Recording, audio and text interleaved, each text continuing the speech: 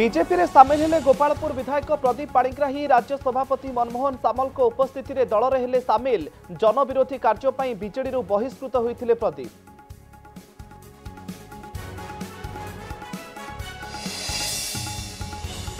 ଗୀତିକାର ପ୍ରମୋଦ ପରିଡ଼ାଙ୍କୁ ଅପହରଣ ପରେ ହତ୍ୟା ଉଦ୍ୟମ କଣ୍ଠଶିଳ୍ପୀ ହ୍ୟୁମାନ ସାଗରଙ୍କ ମ୍ୟାନେଜର ବନ୍ଧୁକ ଦେଖାଇ ଉଠାଇ ନେଇଥିବା ବାଦାମବାଡ଼ି ଥାନାରେ ଅଭିଯୋଗ ସିସିଟିଭିରେ କଏଦ ଅପହରଣ ବେଳର ଦୃଶ୍ୟ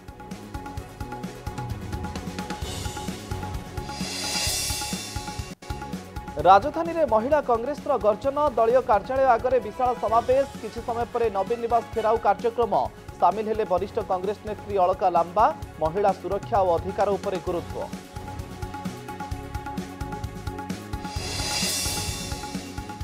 ଚାଷୀ ସଂଘ ସହ ପୁଣି ଆଲୋଚନା ପାଇଁ କେନ୍ଦ୍ରର ପ୍ରସ୍ତାବ। ଏମ୍ଏସ୍ପି ଚାଷୀଙ୍କୁ ଗିରଫ ଓ ନଡ଼ାପୋଡ଼ି ପ୍ରସଙ୍ଗରେ ଆଲୋଚନା ପାଇଁ ସରକାର ପ୍ରସ୍ତୁତ କହିଲେ କେନ୍ଦ୍ର କୃଷିମନ୍ତ୍ରୀ ସେପଟେ ଶମ୍ଭୁବଡ଼ରେ ବାରଶହ ଟ୍ରାକ୍ଟର ସହ ହଜାର ହଜାର ଚାଷୀ ଦିଲ୍ଲୀ ପଦଯାତ୍ରା ପାଇଁ ପ୍ରସ୍ତୁତ।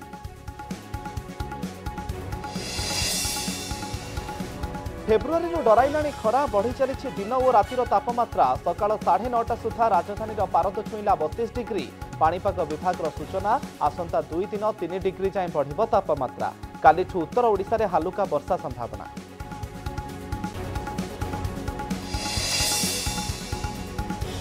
ବାରବାଟୀ ଷ୍ଟାଡିୟମର ହେବ ନବକଳେବର। ବୁଲି ଦେଖିଲେ ଫାଇଭ୍ ଟି ଅଧ୍ୟକ୍ଷ ଭିକେ ପାଣ୍ଡିଆନ୍ ସତେଇଶରେ ପ୍ରକଳ୍ପର ଶିଳାନ୍ୟାସ କରିବେ ମୁଖ୍ୟମନ୍ତ୍ରୀ। ତିନି ବର୍ଷ ଭିତରେ ବିଶ୍ୱସ୍ତରୀୟ କ୍ରିକେଟ ଷ୍ଟାଡିୟମ ମାନ୍ୟତା। ପୁରୁଣା ଗ୍ୟାଲେରୀ ଭାଙ୍ଗି ନୂଆ ହେବ ରହିବ gym swimming pool indoor game ସୁବିଧା।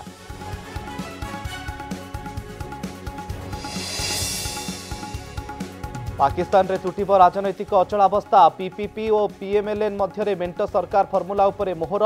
ପ୍ରଧାନମନ୍ତ୍ରୀ ଓ ରାଷ୍ଟ୍ରପତି ପଦ ପାଇଁ ଦୁଇ ଦଳ ମଧ୍ୟରେ ଡିଲ୍ ସେହବାଜ ତରିଫ ପ୍ରଧାନମନ୍ତ୍ରୀ ରାଷ୍ଟ୍ରପତି ହେବେ ଆସିଫ ଅଲି ଜର୍ଦାରୀ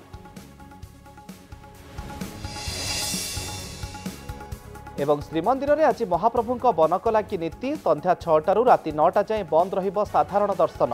ଶ୍ରୀମନ୍ଦିର ପ୍ରଶାସନର ସୂଚନା ଦ୍ୱିତୀୟ ଭୋଗମଣ୍ଡପ ପରେ ଆରମ୍ଭ ହେବ ନୀତିକାନ୍ତି।